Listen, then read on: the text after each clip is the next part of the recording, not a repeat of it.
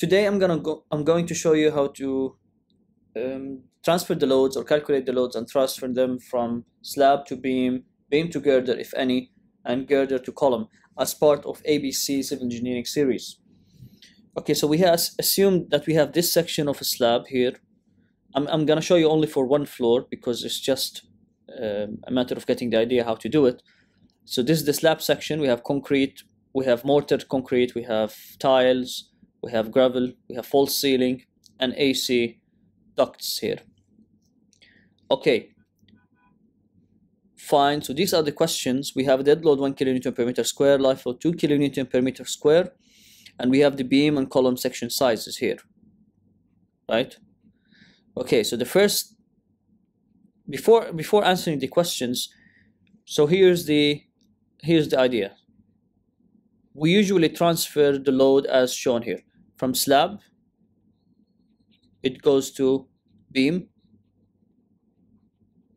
and from beams into girders if any. Here we don't have any girder and from girders into columns as reactions. And then from columns into if you want to add this into foundation footings. Okay. So starting with this each material guys here should have a unit rate what we call density. So let's say the mortar has 20 m its thickness is 10 mm and it has a density 10 mm is the thickness and its density is 20 20 kilonewton per meter cube. The normal density of concrete that we should know is 22 to 24 i'm going to use 24 it's even 22 26 kilonewton per meter cube AC usually is given as lump sum, which is 0.1 kilonewton per meter square, right? So the tiles will have 20 mm. The thickness is written here for concrete, 200 mm. The tiles, let's say, the tiles, uh, let's take 20 mm as a thickness, 20 mm, and it has a density of uh, 22 kilonewton of course per meter cube. The gravel uh, is usually has a, of course has density as well. The gravel is 17 let's take it as 17 kilonewton. Where is it here? 17 kilonewton per meter cube. And density for gravel is 12 mm. Uh, the thickness sorry. That's the density already.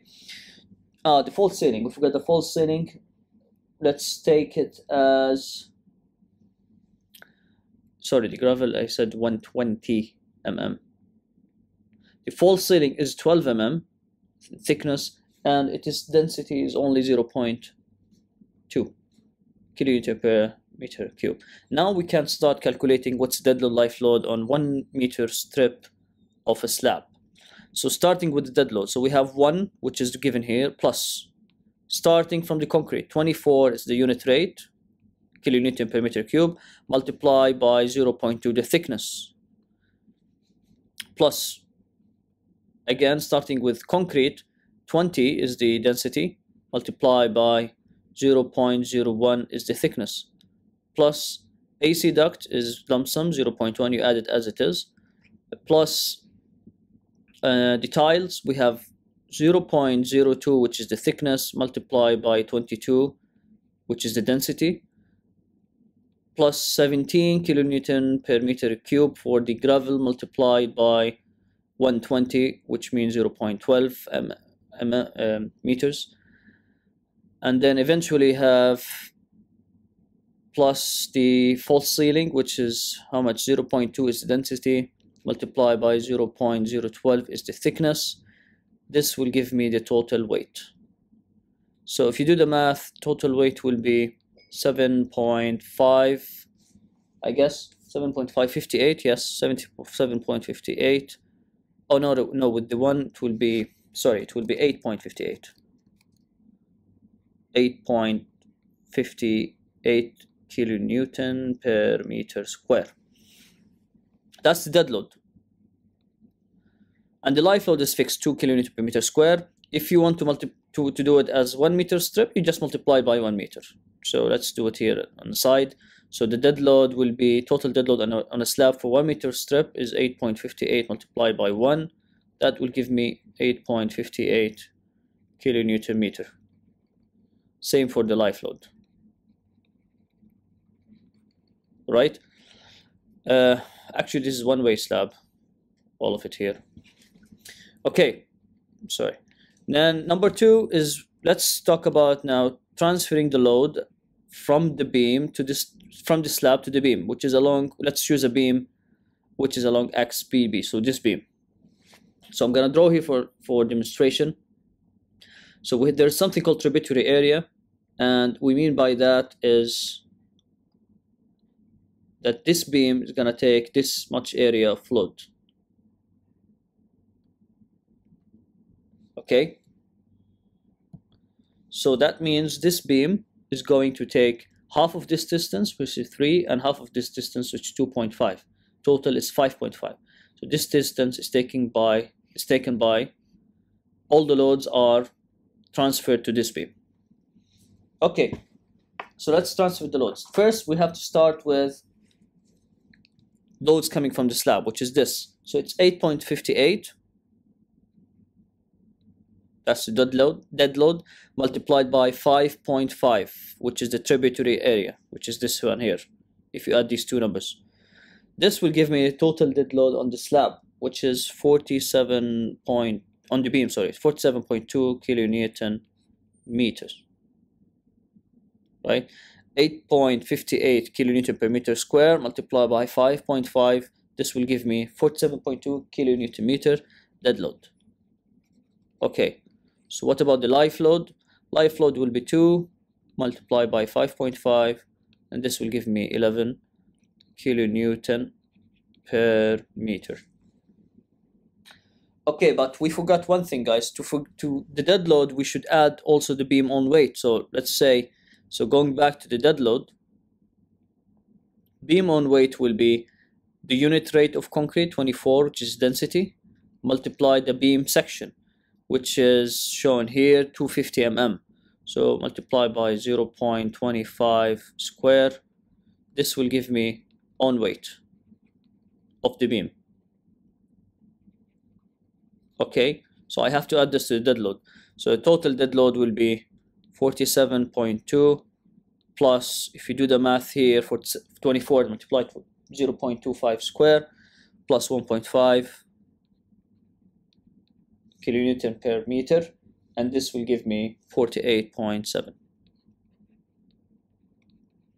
kilonewton meter.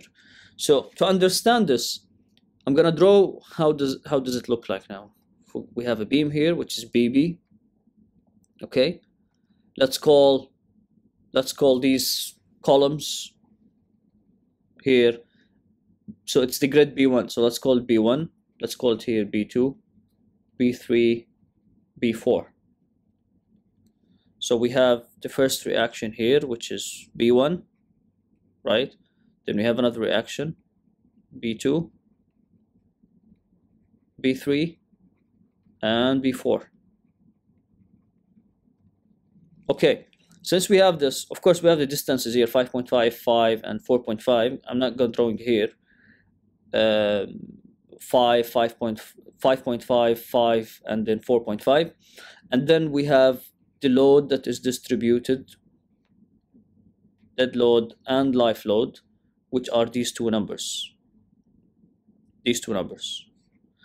So in order to transfer, which is number three now, we're working on B2. So we are interested in this B2, this column. In order to transfer the beam loads into the column, let's choose another color here we need to calculate just the reaction here, right? And since it's distributed load, we just can take the, actually the distance, distance here, this is 5.5 we said, right? So it's 5.5, this is 5, 4.5, let me draw it. So for explanation, I'm gonna take this distance.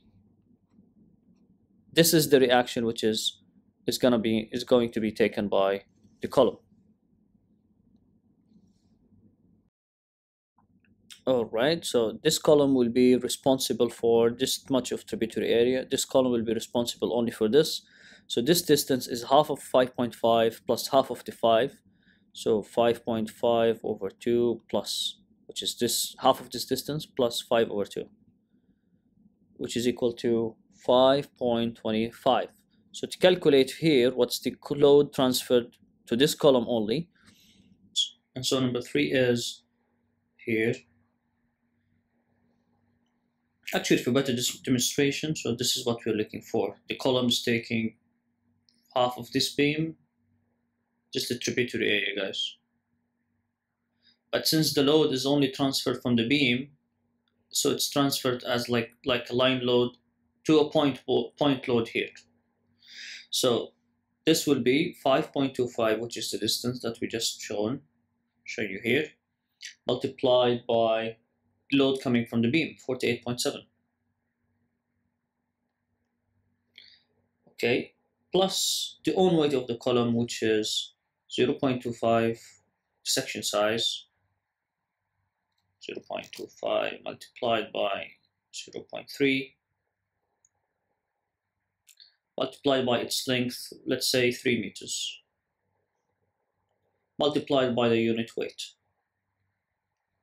If you do the math, that's dead load. That's dead load calculation. So dead load will be equals to 261 kilonewton. That's point load. And the life load is just simply equals to 5.5 multiplied by 11, which is the load coming from the life load here from the beam. And this will give me 57.8 kilonewton as a point load.